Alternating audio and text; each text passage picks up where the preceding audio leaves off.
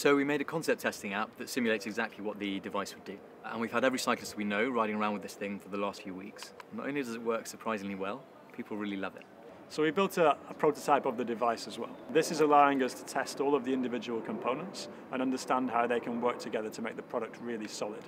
This is now a working prototype um, and it's working with my smartphone, getting the, the signal by Bluetooth and is then displaying the distance and the direction on the screen.